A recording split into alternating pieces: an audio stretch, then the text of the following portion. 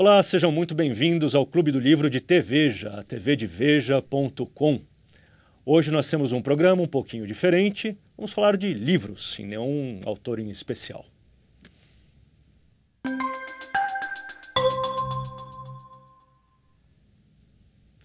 Preste Veja recomenda, que vai abordar vários autores e vários livros de gêneros diferentes. O nosso convidado especial é o Marcelo Madureira, nosso colunista, e como sempre eu tenho aqui conosco o Jerônimo Teixeira, meu colega de Clube do Livro e editor de Artes Cultura, Artes e Espetáculos de Veja. Marcelo, tudo bem? Tudo bom, tudo ótimo. E vocês? Ótimo. Muitas leituras? Muitas leituras. É, esse aqui é o problema, menos, né? Menos que a gente desejaria. Menos do que eu É, gostaria é. também. É, o problema da vida hoje é muito livro para ler, muito filme para ver e a gente não dá conta, né? E muito trabalho. É, tem que trabalhar também para pagar as contas e comprar os livros. Enfim. Bom, você carrega a tocha e você começa. Pois é, hoje eu trouxe dois livros. O primeiro que eu queria assim mostrar aqui para os nossos amigos da TVja é um livro do Miguel Sanches Neto, A Segunda Pátria. O Miguel Sanches Neto é um escritor paranaense, né, meu conterrâneo. Tem dois escritores paranaenses que eu particularmente gosto, o Miguel Sanches Neto e o Domingos Pellegrini. O Pellegrini, inclusive, recentemente lançou um livro sobre a relação dele com o Paulo Leminski, que eu acho muito bacana. Mas esse aqui é do Miguel Sanches Neto, que escreveu um livro que para mim é espetacular, que é Chove sobre a minha infância, que é um, um, um livro autobiográfico. Mas agora o Miguel Sanches Neto lançou essa aqui, A Segunda Pátria, que é uma ficção. Eu vou tentar tomar o cuidado para não fazer nenhum spoiler né, para as pessoas, né? Mas é um livro bastante interessante porque ele trata mais ou menos dois personagens, é, uma, uma ariana pura, a Helga, e um outro, um, um senhor é, chamado é, um negro, né, que mora em, em, em Blumenau, que agora vou- não lembro o nome dele, Af- Af- Afrânio, eu acho, enfim, Afrânio, eu acho. Isso, não, Adolfo Ventura. É, o Adolfo Ventura é o personagem junto com a Helga, são os dois é, protagonistas do livro, mas ele, é, ele faz uma suposição bastante curiosa. Se o Getúlio Vargas, em vez de ter se, se unido aos aliados durante a Segunda Guerra Mundial, né, a Inglaterra, a França, Estados Unidos, se o Getúlio Vargas tivesse optado por fazer uma aliança com os nazistas, né, com o eixo. Que não era totalmente implausível, né? Este, Um este, essa família de negros, que inclusive educados, o, o- esse, esse rapaz, o Adolfo Ventura, é, é, falava alemão, né? um negro, educadíssimo, um advogado, falava alemão, de repente se vê perseguido pelos nazistas, se torna um escravo, né? vai trabalhar numa fazenda e tal, ao mesmo tempo que tem a vida dessa menina Helga, que é uma descendente de alemãs, de alemães, que vai parar, inclusive, na Alemanha, na juventude nazista. Enfim, eu não quero fazer nenhum spoiler, mas é, uma, é, uma, é muito curiosa essa, essa, essa ideia do Miguel de, de fazer essa suposição histórica. E se né, o, o Brasil tivesse seguido o eixo? Né, o que, que teria acontecido, particularmente com, ah, com os, os, os A gente os recentemente fez um programa sobre o Philip Roth, né? É, eu, eu- me lembrou também, o Complô contra a América. Complô contra a América. Exatamente, É, não sei se você conhece esse livro. Conheço, claro. E isso aqui seria uma versão tropicalizada É, do complô é. contra a América. Assim, você, é ficção histórica, digamos assim. O Complô contra a América, ele parte da ideia de que o uh, Charles Lindbergh, Hum, o famoso aviador, Aviador. né, que Uhum. foi um- uma personagem pública eh, super Polêmica, importante, e polêmica polêmica. E muito popular Unidos. também. E Então, muito popular, por, né? isso, por isso é plausível que exato. a situação que ele cria, porque ele realmente era muito popular. Ele, não, um, É, E ele era um né? simpatizante do, do- dos nazistas, né? E daí ele, no livro, é um EC também. E se Charles Lindbergh tivesse sido eleito presidente dos Estados Unidos No lugar do Roosevelt. no lugar do Roosevelt e tivesse se aproximado do eixo? O que, que teria é. acontecido com os judeus naquela época? A ideia é, É, é por aí. por tem aí. Tudo visto ali tá, nesse livro é pela perspectiva da família Roth. né? Exato. Ele, Philip Roth, é, digamos, personagem do livro. É, mas, Criança. é, é, mas isso aqui é, trata ba- basicamente da realidade do sul do país, né? Uhum. do, do- do- dos estados do sul, que tem mais uma ligação mais teutônica, é uma cultura mais Onde teutônica. havia, certamente havia alguns núcleos de simpatia assim, pelo, pelo nazismo. Não, havia sem dúvida nenhuma. Havia sem dúvida em Santa Catarina. De outro é, lado, também teve muita perseguição, uma certa perseguição. Depois que se alinhou com, hum, com, com, com, com os aliados, né? depois que teve a febre, teve, teve uma certa. Teve uma certa coisas intolerância. Começou a se, ver com, com, com, com, Com decepção. simpatia. o- as não, qual- as qualquer alemão passava a ser um espião em A minha, potencial. a minha- a minha Ah, mãe, entendi. que era trader de nascimento, né, ela, teve que ter- ela teve nessa época que mudar, ela era Érica com K. Uhum. né? Ela foi obrigada a portuguesar o nome. Botar um C no lugar do K. Se vocês não perceberam pelo, pelo sotaque ainda, o Jerônimo é, É gaúcho, gaúcho. certo? Que sotaque, pô? Eu fui... Como assim É, mas é, sotaque? várias, mudanças. É, eu acho que o próprio Grêmio Porto Alegrense teve, não teve que mudar o nome, se não me engano, mas o Palestra assuntos aí, é. Itália, o Palmeiras, era Palestra Itália. Ah. Teve que mudar o nome para Palmeiras, Palmeiras. Sociedade. E deu no que deu, né? E, Mas- o, e, e como é que o Miguel constrói aí essa história? Pois é, não, ele, ele Sem passa... spoilers. né? Pois é, essa é a dificuldade do é porque não é um livro exatamente é, longo, é uma história de um bom tamanho, um excelente livro para um fim de semana, para umas férias. Duzentas e tantas páginas. 200 e poucas Dá páginas, estimar. é, 305 páginas. Mas é, é interessante para a questão do, do, do- da intolerância, da- do racismo. Quer dizer, basicamente, é, o- os nazistas passam a perseguir esse, os negros que moram em Santa Catarina, que até eh, eu lembro que, que minha mãe contava, minha mãe é catarinense, que realmente ela morava em Blumenau, e em Blumenau até os negros falavam alemão. Né? E de repente havia um espaço da sociedade, até havia uma miscigenação e tal, e de repente tem um corte radical, né? na- e começa a se perseguir as pessoas de cor e tal, e elas são internadas em fazendas, têm que trabalhar, e, enfim.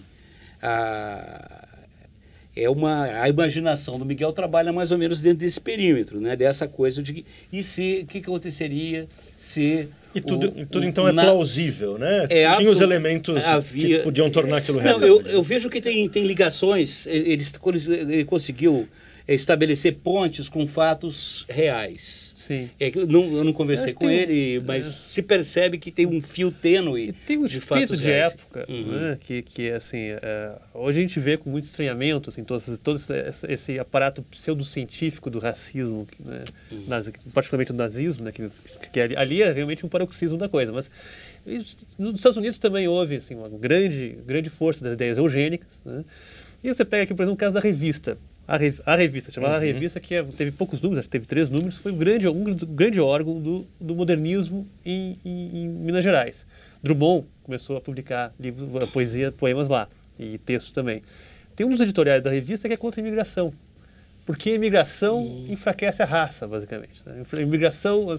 eh, ela- os, os povos essa- têm, os povos têm, cada povo tem a sua característica, a imigração enfraquece. O- o Essas Menotti- ideias- o Menotti Del tavam- Picchia- tavam no ar. Menotti Del Picchia, ele era ligado ao fascismo. Sim. Meno- Menotti Del Picchia. Dom Helder Câmara foi, do, foi integralista. Quer Vinícius de Moraes teve um período de, de simpatia. pelo- O chefe é- do integralismo era um escritor, né? O Plínio Salgado. Plínio né? Salgado, exato. Ele era, ele era um romancista, ele era um escritor meio intelectual. Né? O Alce- O Alceu Moroso Lima. Exatamente. que depois que depois de ser um grande opositor da, da- da- do, do- do- do regime militar, mas nessa época ah, os, os círculos o católicos Miguel Reale Júnior também, se não me engano, não era? Miguel Reale Júnior foi o grande ideólogo do fascismo no, no, no Brasil. Ah, pra você ver como a história de Ao lado Hum. do Santiago Dantas, cuja biografia eu resenhei recentemente É. para a revista. Os dois foram os maiores ideólogos do, do fascismo no Brasil. E acabaram bastante é, próximos da social-democracia. Acabaram, acabaram. Eu, eu mesmo fui militante do PCB, na época que o PCB era PCB, recebia ouro de Moscou, e hoje sou um social-democrata. embolsou, quando, quando você embolsou do, do ouro de Moscou? Menos, menos que os petistas tiraram da Petrobras, posso garantir isso. Bom, também com esse parâmetro. Ah, daí não dá, né? e aí, Jerônimo, o que, que Bom, você então vamos, trouxe para... vamos, então vamos do fascismo Já, para que, o que bolchevismo. É né? a mesma coisa, né? Eu trouxe, é, É eu, trouxe, eu trouxe dois, Vizinhos. dois, dois russos, dois contistas russos, né, dois livros de contos russos, ah, de autores do século, do século XX, Né? O, a, literatura russa não se cerrou com Dostoiévski Tolstói. Né? E é, Muito é, pelo um autor, contrário. é um autor que fugiu da Revolução e um autor que aderiu à Revolução. Vou começar pelo que fugiu, que é, é o mais conhecido, né? que é o Nabokov. Né? Esse livraço aqui é um livro de contos, é o Contos Reunidos. Né? É, o Nabokov é mais conhecido, claro, como, como romancista, sobretudo pelo sucesso de escândalo, digamos, do Lolita. Né? Uhum. Mas ele é um, um contista, assim, é, impecável. Né? Tem uma famosa frase né, que, do, que é atribuída ao, ao Valéry, né, o Paul Valéry, o, o, o, poeta francês, que dizia que não podia escrever um romance, não podia escrever prosa, porque não seria capaz de escrever uma, uma frase inexpressiva do tipo a marquesa saiu de casa às 5 horas. Né? Você é dificílimo você encontrar uma frase inexpressiva aqui dentro. Assim, é, assim, a, a, a, o cultivo do estilo, né? além de uma fabulação assim, muito bem construída, é fantástico, assim, do início ao fim. Né? Ele estava sempre atrás da palavra certa, Exato, né, do é. mojo. Ele ainda tem a particularidade de, assim, ele, ele, é um escritor que, assim, ele começou escrevendo em ele, é, tem, tem, vários casos, assim, o Joseph Conrad, por exemplo, que era polonês, mas fez a carreira dele em inglês. Uhum. Né?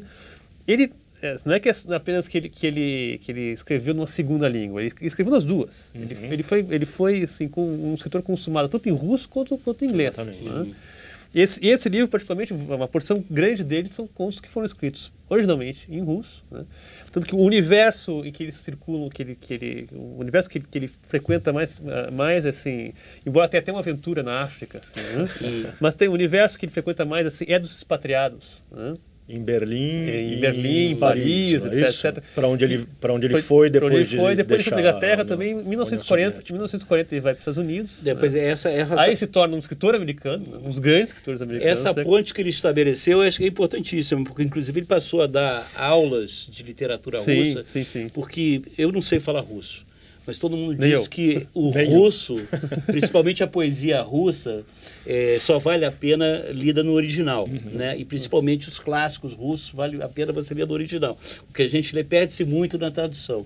Então eu acho que o Nabokov, ao fazer essa, essa carreira dupla aí, entre a língua, em língua inglesa e a língua russa, ele conseguiu fazer uma ponte, talvez preciosa, né, que permite se aproximar um pouco é, a compreensão que a gente vem tendo da literatura russa. Eu acho, acho que, Hum, que o estilo dele, né, aquele é. estilo final, não, não final, né, mas estilo maduro dele, né, o do Lolita e tudo mais, que é muito rebuscado, é, É. muito cheio de é, às vezes quase barroco, né, no jeito que ele trata as palavras. Acho que deve ter um pouco a ver com, com- esse com trânsito é. entre, né? É engraçado que tem, tem uma, uma resenha quando porque esse, esse livro teve sucessivas edições, Sim. foram acrescentando cada vez mais, cada vez no, na, na- em inglês, né, cada acrescentando cada vez mais contos. Tem uma delas que foi resenhada em New York pelo John Updike.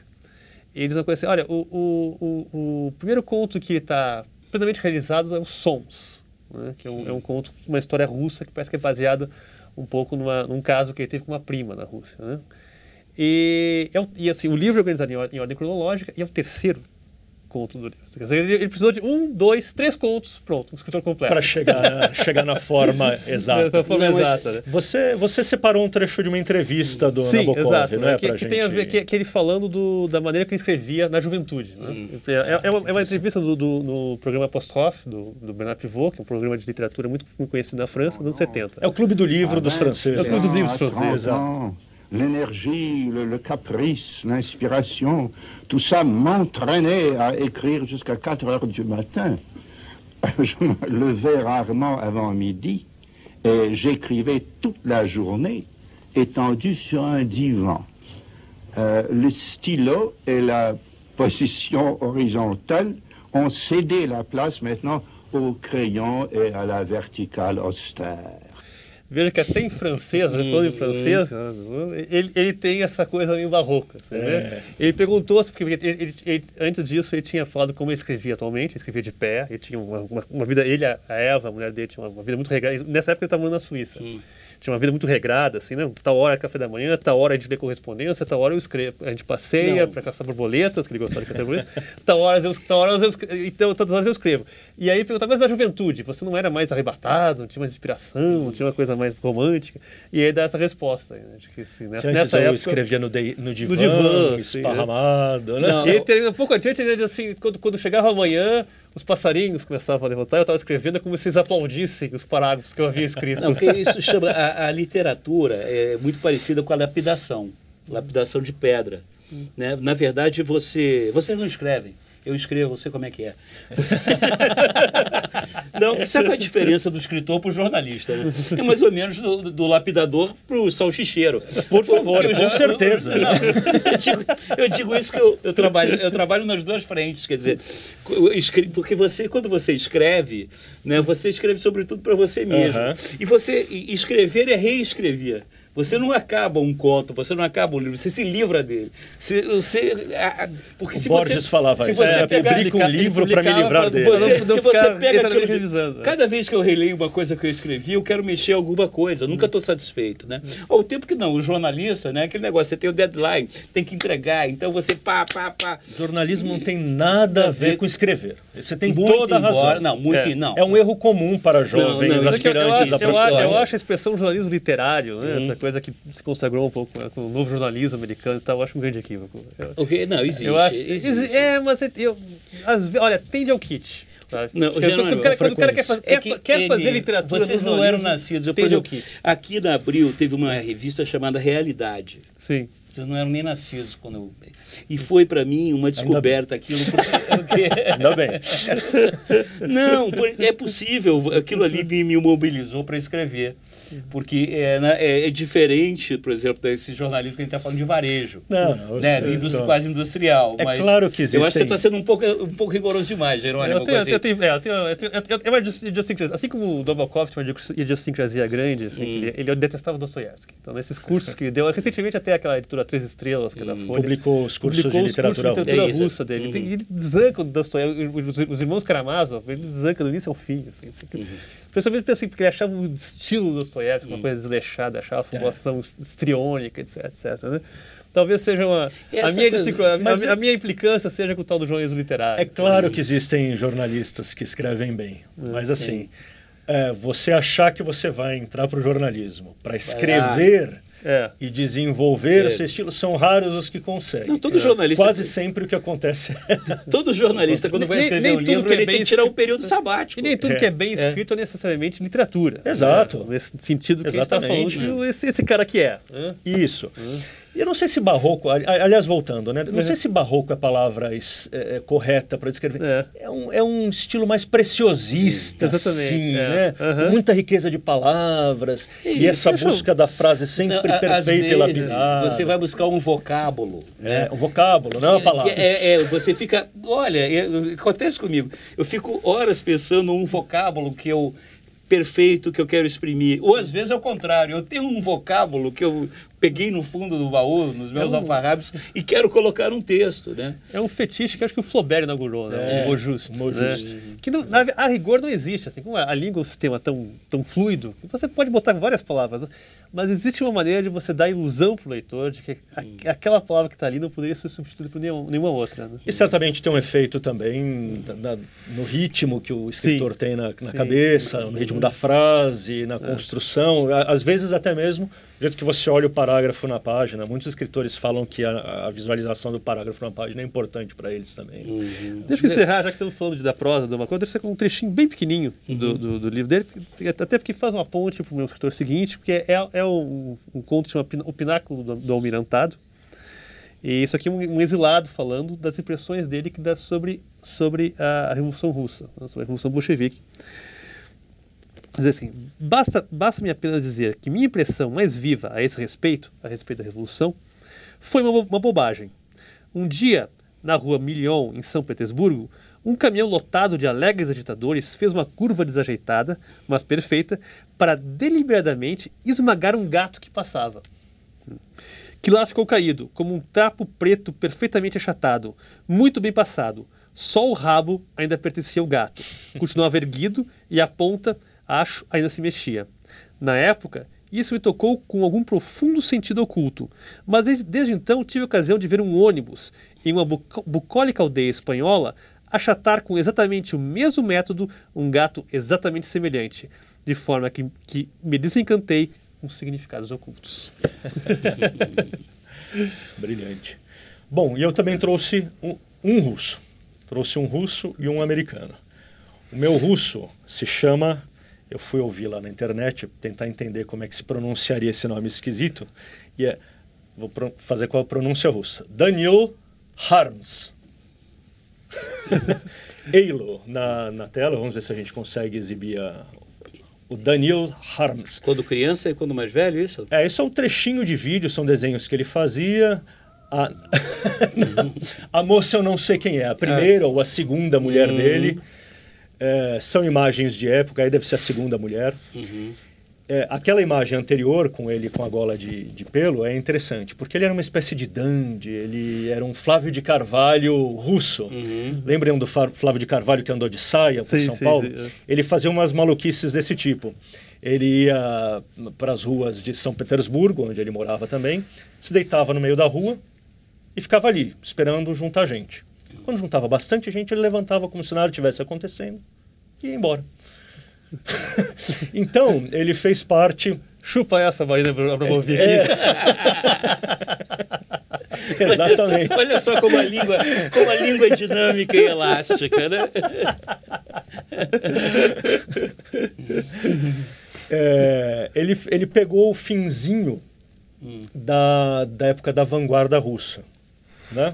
Teve grandes nomes literários, Mayakovsky, Klebnikov, eu não sei pronunciar os nomes russos também, mas, enfim, todos os grandes poetas, e mais poetas, inclusive, do que ficcionistas, né? Ele chegou ali na rabeira dessa geração. Ele nasceu em 1905, de um pai regicida. O pai dele assassinou um czar e fez um atentado contra outro. Foi pego. Mas enfim, nasceu lá em 1905, da, da- dessa família, e lá por 1925, quando ah, os soviéticos realmente puseram a patona deles sobre a cultura e a literatura, ele tinha 20, ele tinha 20 anos, certo? Ele estava ali no, no auge, no começo da, da grande experimentação dele, né? E ele, pelos próximos... eh, ele morreu muito cedo, morreu em 1942, mas pelos anos seguintes ele ficou ali dançando entre a vanguarda, que já tinha sido meio marginalizada... Ele morreu de Stalin ou morreu de guerra? Morreu de Stalin. Morreu, morreu dos dois, na verdade. Morreu de uma combinação de Stalin e de guerra. Porque em 1941 ele foi preso, Uhum. né? Porque a literatura, a literatura dele eh, eh, não tinha absolutamente nada a ver com aquilo que os soviéticos queriam que fosse literatura. Era o oposto do realismo. Ela era absurdista, a literatura dele. E é muito interessante. Estão acabando de lançar aqui no Brasil um livro infantil do Daniel Harms. Daniel, vamos chamar ele de Daniel. Chama aqui Esqueci Como Se Chama. Histórias e poemas de Daniel Harms. É um livro muito bacana e o tipo de literatura que ele faz para crianças é parecido com o que ele faz para adultos. É, ele ganhava a vida escrevendo para crianças e era com muito sucesso.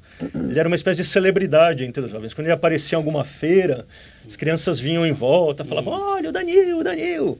Então ele era uma...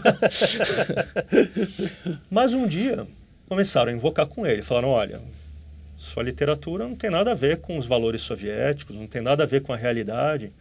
A polícia o chamou e o prendeu pela primeira vez. NKVD.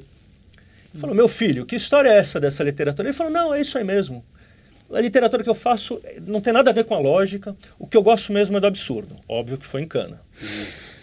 1931, passam-se 10 anos, ele vai em Cana de novo, começa o cerco a Petrogrado, que já não se chamava mais... ah, agora de Leningrado. Leningrado, Leningrado, não se Leningrado. chamava mais São Petersburgo. A cidade fica completamente sitiada, ele é posto num asilo psiquiátrico, num sanatório, e morre de fome, aparentemente, lá dentro. Então foi, de fato, uma vítima do stalinismo e da, guerra.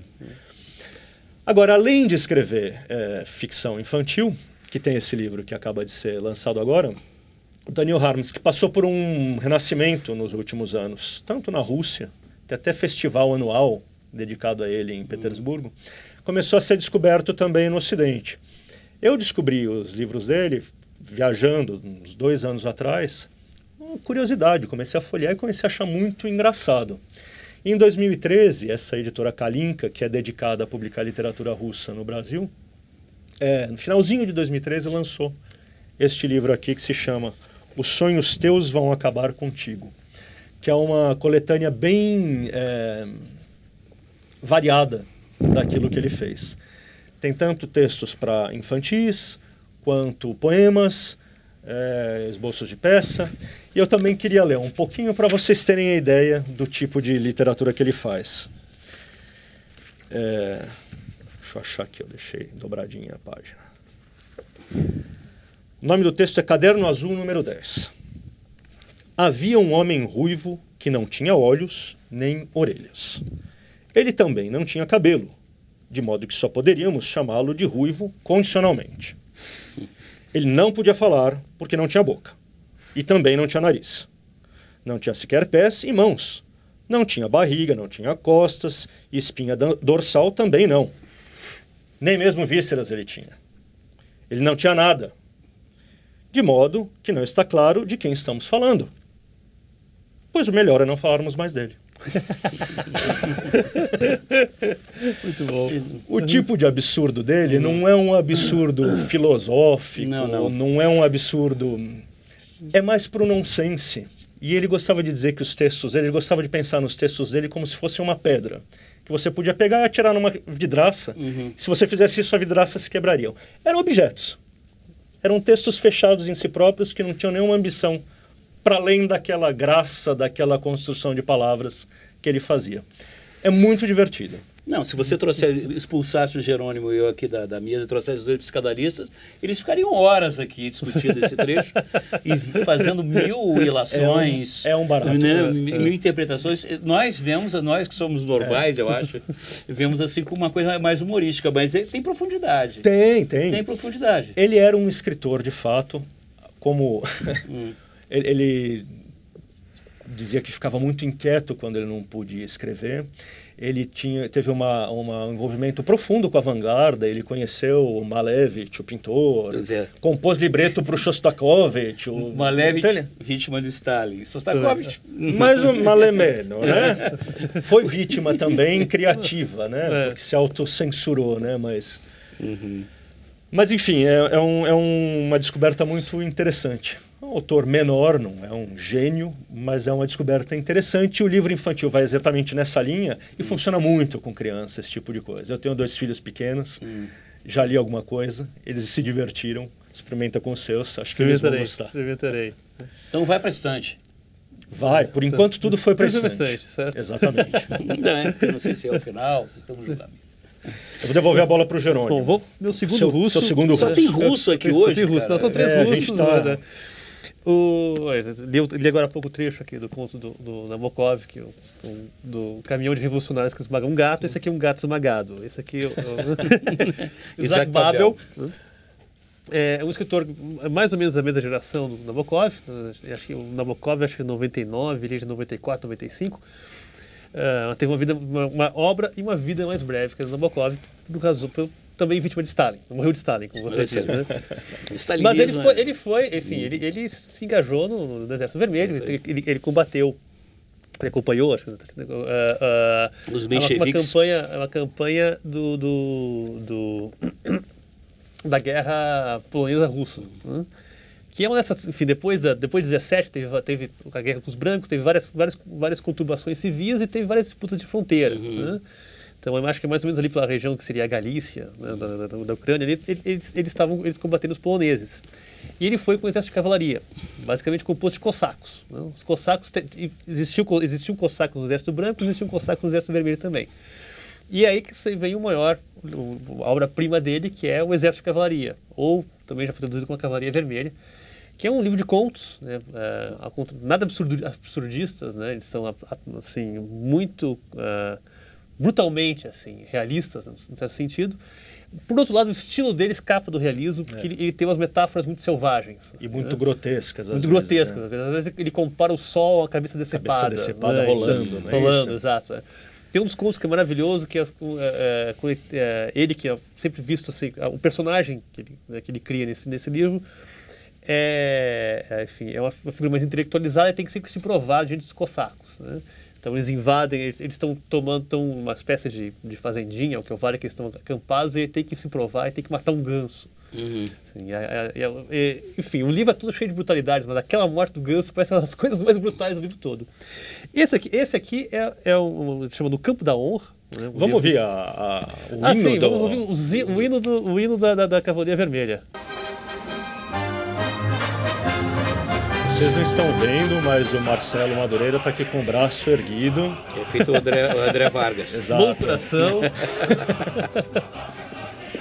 Ó, cuidado, hein?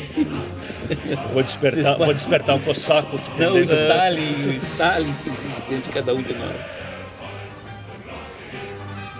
E aí, Jerônimo, o que, que é esse, o livro? esse o, o- o livro agora, esse, o, o, o Exército de Cavalaria saiu há alguns anos aí pela COSAC.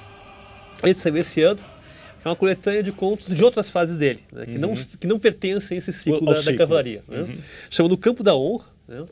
Esse, do Campo da Honra e outros contos.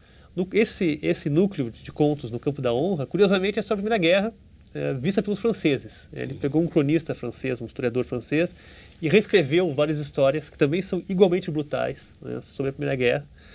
Tem um, um ciclo belíssimo de, de, de, de contos autobiográficos, né, onde, nos quais parece que ele inventa muito, ele meio que mitologiza a própria vida. né. Mas tem um deles, é, tem, é, é, é, ele escrevendo. né. Um deles conta um- uma história de, de, de um pogrom, né, porque ele era judeu. né. Então, assim, Exato. é, então, a- era, era um agravante, né? é um agravante, exatamente. É. O personagem do. O, o- é quase um alter ego dele, o, o personagem que Sim. você estava mencionando, né? Um intelectualizado, judeu, né? Parecido exatamente, com ele, né? exatamente. E tem vários outros, outros contos curtos, é sempre com essa essa essa essa, essa, é, capacidade dele assim de, criar é, metáforas assim uma- uma- chocantes assim que, que realmente né, te, te tiram do eixo, Deslocam, te né? deslocam, né? Um dos últimos é, é, meio que ele, ele vai até o- esse universo do Nabokov, assim, dos expatriados russos. É a história de um julgamento né, do, de um de um, um russo em Paris, né, que, que, que tem um caso com uma, uma, uma, uma nobre, uma, uma marquesa, ou que eu valha, e afana joias e rações dela. E ele vai a julgamento meio sem entender, porque uma corte francesa, ele vai a julgamento sem, meio que sem entender o que está acontecendo com ele. né. E meio que pronuncia o destino do, do próprio do próprio Babel, né? Que, eh, enfim, eh, na época dos grandes expurgos do Stalin, nos anos 30, né, ele caiu em desgraça. Acho que caiu em desgraça, em parte, certamente por causa da, enfim, da maneira como ele, eh, crua com que ele, assim, não- dourava a pílula na, na- descrição dos, dos- do- do- de feitos de guerra do- dos livros dele. Em parte também parece que ele teve um envolvimento com a mulher de um chefão da NKVD, que é antecessora da KGB. Da KGB. Isso deve ter colocado uma marquinha em cima Mas não dá pra saber dele. qual, porque naquela época a rotatividade também da NKVD era É, muito não, grande. exatamente, exatamente. É, é o cara que é o antecessor do, do, do, do Beria, que é o que foi, acho que foi o mais célebre É. chefe de polícia Ah, do Stalin. era um cara que era baixinho até. E, É, eu vou lembrar o nome. e ele, Vlasov, e, ele, é. e ele, enfim, o, o, o- ele, ele foi preso, o Babel foi preso em 39, né, torturado. Depois, no ano seguinte, ele vai a julgamento e é fuzilado. Aquele protocolo stalinista. de Stalinista sempre, básico, É, é. básico. É. É curioso, assim, tem, tem, Preso, tem uma época... torturado, julgado. Tem uma época, você mencionou aí, né? Tem- Existia uma época assim, tem até o, o, o Jacobson, aquele linguista, tem uma- um ensaio famoso que ele fala como é que é, a geração que, que des- desperdiçou seus poetas. seus né? Poetas. Tem- tem- existe, existe um momento inicial da Revolução Russa que os, ah, existia entre os artistas a ilusão de que a, a, assim, a Revolução Estética caminharia, ca- caminha- caminharia assim, passo a passo com a Revolução Política. né? A Revolução Política não gostou disso, não. Em A Revolução 1925 Política, ela trouxe- resolveu é, eles é, deu uma acabar volta com essa disse, não, festa. não- os intelectuais não, é. entenderam Não. nada. Não, Não, entenderam não nada. Ao contrário dos intelectuais brasileiros, que hoje em dia não, não se manifestam, né? Muito curioso. É, é, essa época do stalinismo me lembra, até eu estava comentando com o Jerônimo aqui, que tem um livro excelente, né? para mim a melhor descrição desse período, que é Na Corte do Czar Vermelho, do Simon Sebag Montefiore, que é um excepcional escritor, escreveu Jerusalém também, que é um livro antológico, mas é a melhor descrição do que era o fantástico stalinismo o e o né? Stalin. E a Tem- vida íntima, é, o círculo é, o íntimo do, Kremlin, do Stalin, é uma é leitura isso? imperdível. Tem, tem uma nota que, que ele faz sobre Mandelstam, que também é um desses, desses escritores da época, um poeta, grande poeta, né? e que, enfim, ele, ele caiu em desgraça porque ele escreveu um, um, um poema satírico sobre Stalin, né? que ele comparava os dedos do Stalin a vermes grossos e coisas e tal. E, assim, parece que ele leu o poema para duas pessoas anátema, né, da, da, da, da, do círculo íntimo, mas de alguma maneira as coisas, as coisas, né? Como são as coisas do totalitarismo, sempre tem alguém que conta para alguém, que denuncia, que delata, hum. sempre tem né, um canário no meio da história, hum. mas chegou, a, o poema chegou até o Stalin, Parece que até ele apreciou o poema. mas ele mandou um bilhete para. Hum. Não, não, sei se era o Berry ainda já na época, mas enfim, para o encarregado para o. Para o carrasco, da, carrasco da, de plantão assim, ali. Uh, uh, preservem, mas isolem. Ou seja, não matem, não fuzilem, hum. mas, mas tirem de circulação e tirar de circulação e foi pro, pro Gula, acabou morrendo de, de, fome e de frio. De, de fome e de frio, exatamente. Então, o isolamento hum. não o preservou. Esse Daniel Harms também, ele foi, foi levado para a prisão da a prisão que resultaria na morte dele, por causa de um poeminha que falava de um homem que sai de casa e não volta. E a paranoia. Imagina, um escritor Sim. como esse, que uhum. de fato não estava preocupado em, uhum. em, falar em nada. Ele dizia: só me interessa o nonsense, não tem interesse nenhum pela realidade é, interpretaram como é, um poema sobre expurgos, sobre gente desaparecida. Uhum. Puseram um cara na cadeia, fizeram uma. Como é que chama? Chama spinal tap? É um, punção, uma punção na espinha? Uhum. né? Disseram, não, você é louco. Puseram no sanatório, ele morreu. Eu vou é, falar do meu rapidamente. Claro. E encerramos com o Madureira, nosso ilustríssimo convidado. Isso. Hoje eu estou com também outro livro, mas agora um americano que foi é, redescoberto recentemente e foi lançado aqui no Brasil é, por essa Rádio Londres, que é uma editora nova e que tem justamente esse propósito de pegar autores que estão ou estavam meio esquecidos e, e pôr em circulação esse este John Williams, que é autor de três romances. É, um que se chama Butcher's Crossing, que é a história de um, um sujeito lá da, de Nova York que vai se meter a ca caçar búfalos no oeste, no século XIX. Depois, Stoner, que é o livro que está sendo lançado aqui no Brasil, que é a história de um professor universitário. Esse aqui, e John Williams, a, a, foto dele apareceu agora, aí agora há pouco. Vamos ver a carinha do John Williams. Essa é a capa do livro brasileiro. Vamos ver se a gente tem o John Williams para mostrar. Ele morreu em 1994. Era um professor universitário, nada mais do que isso. É, o terceiro livro dele ganhou um prêmio, se chama Augustus, e é uma é, é um romance histórico sobre o primeiro imperador romano, Augusto. Parece que é um livro muito bacana. Eu comprei e não comecei a ler ainda. Mas o Stoner, que saiu aqui no Brasil, o, é, nunca pensei que eu faria isso, mas eu vou usar o Tom Hanks como crítico literário.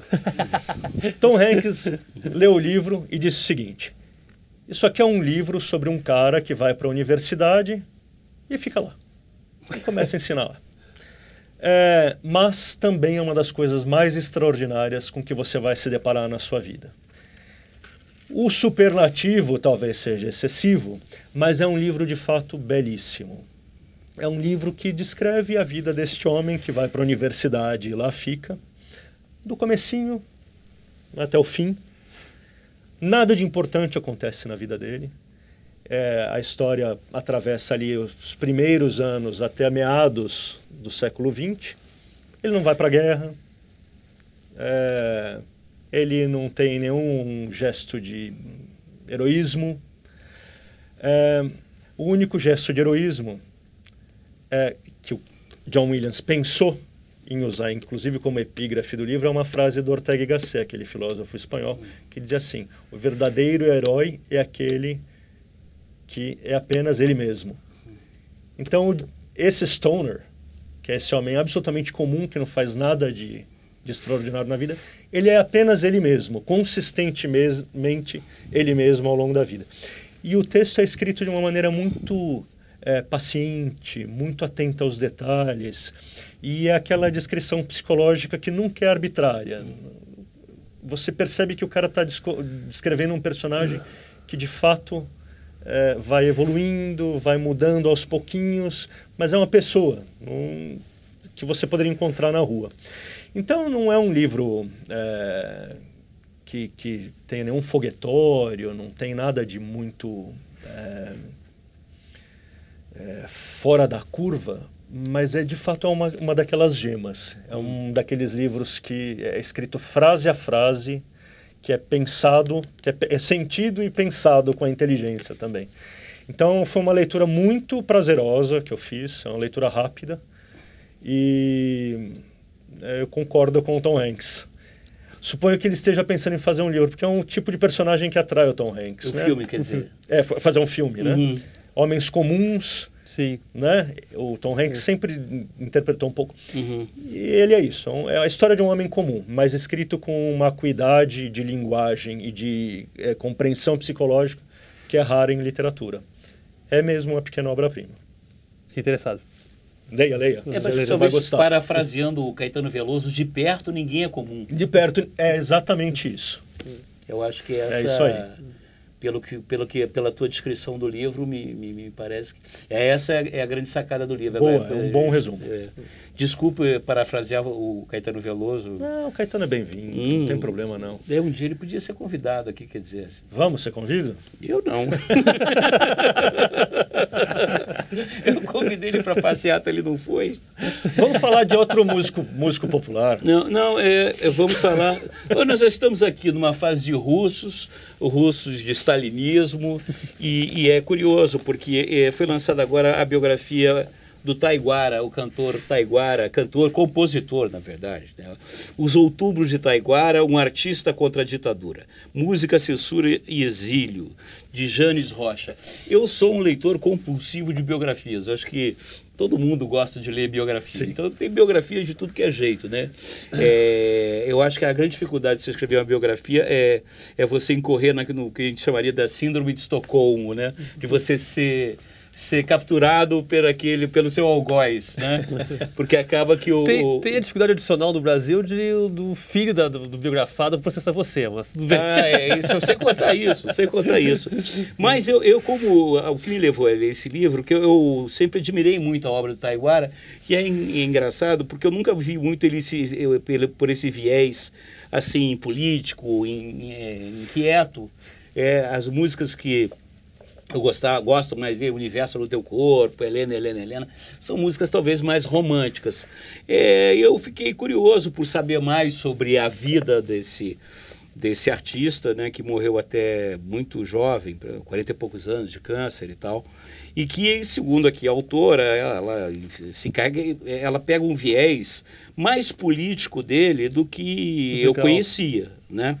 É, ele, curiosamente, é, tinha essa coisa, essa, essa ligação com a esquerda, era prestista, né? É, fez até uma música em homenagem ao Luiz Carlos Prestes, Cavaleiro da Esperança, o que para mim soa um pouco estranho, né? Me lembra muito Jorge Amado, essa coisa. Voltamos ao stalinismo. Olha que a gente um- roda, a roda, gente roda. roda e não- né? É o santeiro, o santeiro É. do mangue do, do, É, do, é. do Oswaldo de Andrade, que termina assim, estamos prestes a lutar, prestes. O problema, por exemplo, e tanto que o título do livro é assim, Os Outubros de Taiguara, né? Assim, é, pega realmente o lado dele, é, ele, ele se autoexilou, né? Esse negócio de se autoexilar é meio complicado, né? Geralmente, mas enfim, tem uma, uma iconografia bastante variada, Rica. mas eu acho, na minha opinião, que ainda o Taiguara fica... é, a- a- o mundo dos livros ainda fica devendo uma, uma biografia do Taiguara assim, menos descritiva e menos assim, digamos assim, com um viés tão político, sabe? Eu acho que... Chega aí pro, pro, pro sebo. Olha, nenhum, nenhum livro... Não, não vai para o sebo. É, Eu acho assim, eu acho que vale pela, pelo ineditismo. Pelo ineditismo. Pela, pela curiosidade que a moça teve de investigar. É um livro sério, não é uma brincadeira. É, vale a pena ler, mas eu acho que, por exemplo, é, eu já li outras biografias de outros é, artistas brasileiros, coisas mais completas. A própria recente eh, biografia da Elis, que foi uma Maria, né? é, é um bom livro, é, é, realmente tem essa profundidade. E é, é como eu estava dizendo, a grande dificuldade da biografia é você ser rigoroso, né? Eu acho que o Lira Neto, por exemplo, conseguiu no Getúlio esse, esse rigor, essa coisa de você realmente traçar um retrato fidedigno do biografado. Essa é a coisa muito difícil você não, né, em algum momento, não se identificar com aquilo e tal, não ficar fascinado pela, pela figura e, e meio se virar refém né, uhum. do seu biografado. Eu acho que aqui acontece um pouco disso nesse, nesse livro, mas isso não é, um, não é um, uma coisa que seja assim. Né, um, um pecado né, indisculpável, mortal. mortal. Vai à leitura. Vale a leitura, porque inclusive eu estava falando com o Jerônimo, que é o mais jovem de todos nós aqui, num disco... Na verdade, o Greve. Hã? Na verdade, o Greve. Greve, Greve é um pouco mais jovem que eu. cabelos brancos. Mas eu não, sei, eu não sei se vocês conheceram o Itaiguara. O Itaiguara era um cara que tinha, na década de 70, realmente, dentro do, do panorama musical brasileiro, um, não só um, um, é, é um protagonista importante, mas ele, a obra dele tinha uma particularidade, uma originalidade, era uma coisa que eu achava bonita. Um, um disco bacana. importante dele foi relançado, acho que no passado. Até eu acho que relançaram. O é, Martins, é, o colega lá, deu, deu uma matéria até, deu, deu uma página sobre isso. Ah, é verdade, é. vocês é, falaram. Eu realmente não conheço. Vale a pena, é, vale a pena não... escutar as músicas é, do Taiguara. Logicamente, muito bonito o disco. Eu acho bacana esse isso. Você tem alguns artistas que você, de repente, estão meio assim esquecidos, aí vem algum biógrafo e vai e levanta a bola, só disso já, já vale. já vale. Enfim, só para uhum. assim, separar as coisas, assim, diferente do Van Dreck, também um cara que foi muito ligado à esquerda, assim, uhum. ele tinha uma preocupação melódica maior, assim. Né? Sim, ah. Eu acho que assim, a atenção a, dele para a música, a, a, obra musical, é, é o Van Dreck é aquela coisa, dois acordes é, e tal. Ele, é, ele, é, ele, é bastante mais sofisticado do que isso. Né? É, o Van queria tirar uma onda meio de Victor Hara brasileiro, né? não, o André, o André é uma coisa curiosa, né? ficou meio maluco, um cara... É, é ele meio que foi pro outro lado, né? Começou é, a fazer... É, fazer a apologia da Fábio. A apologia da, Fábio, é. Uma coisa muito esquisita. Uma coisa muito esquisita. Algum stalinista deve ter apertado algum parafuso. Algum parafuso errado. É, algum parafuso errado dele. Mas até por falar em stalinismo, eu queria é, é, um, assinalar aqui também que um, um, novo valor na poesia nacional. O, o ex-presidente ah, da Câmara, sim. João Paulo Cunha. Precisamos montar um, é, depois, um programa inteiro sobre ah, este livro. Eu, mas preventivamente a gente já joga para o sebo, certo? Podemos sim. concordar com isso, não é? Não, mas ele escreveu na Papuda, eu acho que é, um, é uma literatura, uma, uma poesia, né? Eu, eu mesmo transcrevi um trecho que eu achei é, muito bonito, uns versos que ele fala assim: o poeta é um fingidor. Porque ele é poeta, ele é vate né, do PT. O poeta é um fingidor. Finge tão completamente que jura que é caixa 2. O que é propina deveras? Mente. Acho que isso foi uma adaptação que você fez da poesia. Não, dele. ele roubou a poesia do Fernando Pessoa. roubou e lavou. e botou, não, e, e botou poesia, no caixa 2. Poesia não existe roubo. Mano, Olha lá o ex-Leandro Dué. Tem um monte, um monte de versos que ele pilhou do Shakespeare, do Baudelaire. É, se, é se não é assim. é Vero, é Bene Trovato. É Nesta nota, nós terminamos com poesia, não hein? Poesia. Não existe roubo, nem plágio, existe intertexto. Citação. Como diria nessa, uma búlgara. Nessa nota, nós terminamos que o é Clube é do Livro de hoje. É, e prometemos um, um, programa inteiro dedicado à poesia do João Paulo Cunha. Hum. Não assista. Muito obrigado.